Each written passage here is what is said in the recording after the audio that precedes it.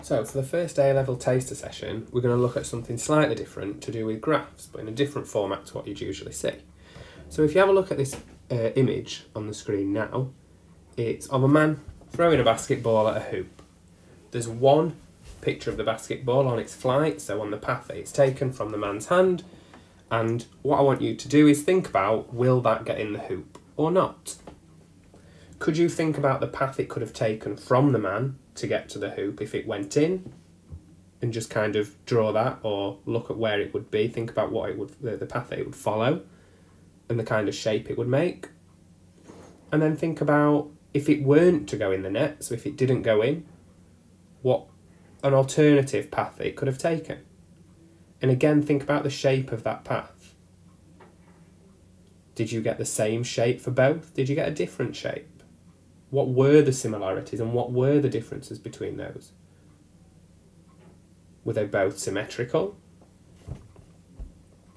Now, if I give you a second image, so a second point on the route that that ball's taken, what does that do to the route? Uh, what does that do to determine whether the ball goes in the net or not? Does that change what you're thinking? So if you look now, there's a second uh, example, a second point on the route that that ball's taken. It's kind of just above his head, if you can't see that. So the ball started there.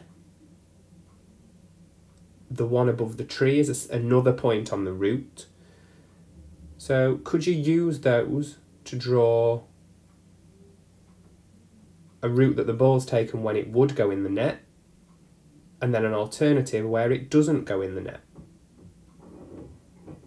Again, think about those things that you're drawing. You've now got two points on a line. What kind of line is it? If I now show you a third point, what would that do to alter your, your view? So you've now got three points. Could you draw an accurate route that that ball's taken? How certain are you now whether it went in the hoop or not? Could you draw a route when it does go in and one when it doesn't go in? Or is there only one answer to that now? So if I show you the actual video of the man throwing the ball in, I want you to compare your route that you've decided to the one that the ball actually takes and just think about are you correct? What did you get right? What could you change? What were you what was different? So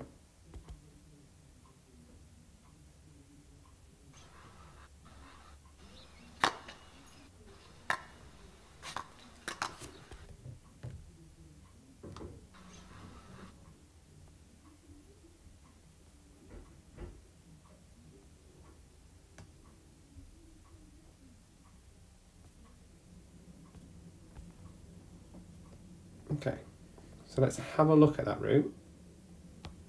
So, ah, so you'll notice it doesn't actually go in the net, but there it shows you the route that that ball's taken. You were given three points on that.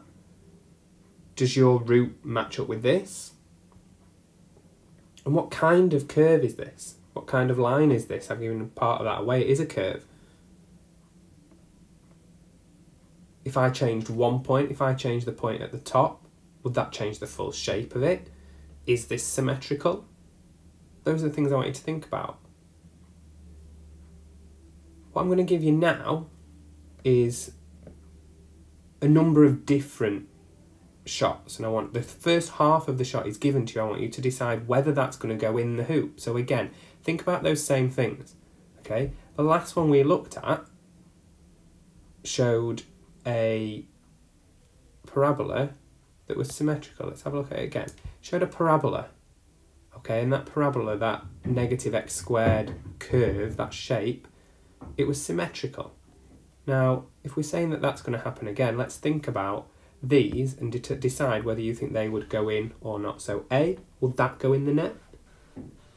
B,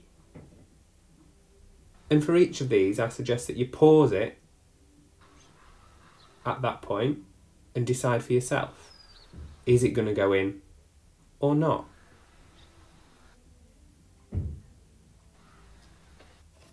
And which of those would, which of those wouldn't?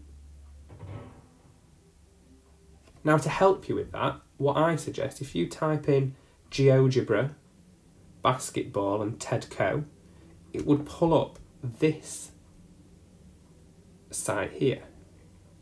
And on this, here we've got three balls, all on the same route, that I can move around. So actually, if I decide to use that previous video and think, well, actually, the first one looks similar to this, now, I can use that to help make help me think about will that ball following that route go in the net or not. And then if I go show path, it actually tells me where that would go to see if I'm correct.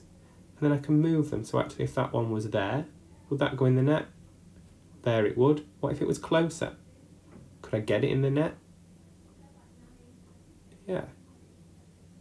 There. or it would actually also show me the graph, so the equation of that line. So it's a negative x squared, as we said already. But what do each of those numbers mean? And this would actually show me that's the route that the ball would take. So potentially if I move those there and there, would that ball go in? Mm, not quite. So what I'd like you to do, use that video that we looked at. Okay, so again, go back, pause where you need to, and then just have a play around. Do you think each of those will go in the net or not? And have a think about why.